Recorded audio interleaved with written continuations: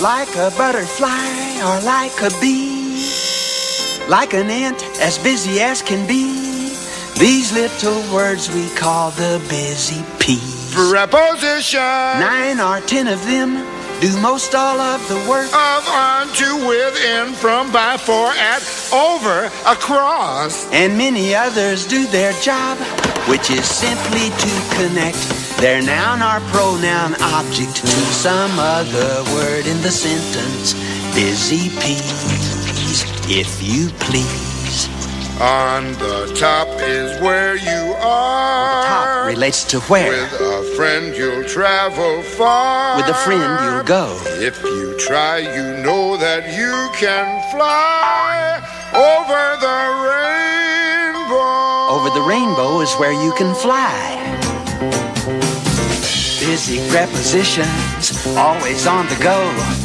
Like a bunch of busy bees, floating pollen on the breeze, buzzing over the meadows, beyond the forest, through the trees, into the beehive.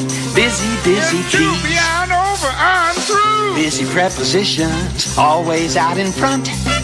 On the edges, in the crack, around the corner, from the back, in between the action. Stating clearly to your satisfaction the location and direction. Prepositions give specific information. Though little words they are, they never stand alone. Gathering words behind them, you soon will see how they have grown into a parade. A prepositional phrase with a noun or at least a pronoun bringing up the rear. A little phrase of two or three or four or more words.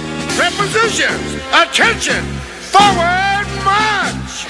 Busy prepositions, always on the march. Like a horde of soldier ants, inching bravely forward on the slimmest chance that they might better their positions. Busy, busy prepositions. In the air, on the ground, everywhere. The sun sank lower in the west.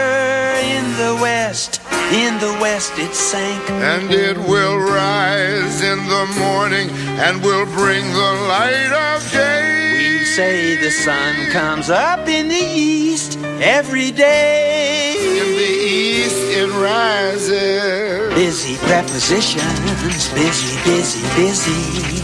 On the top is where you are. On the top. If you try, you know that you can fly. Fly where? Over the rain.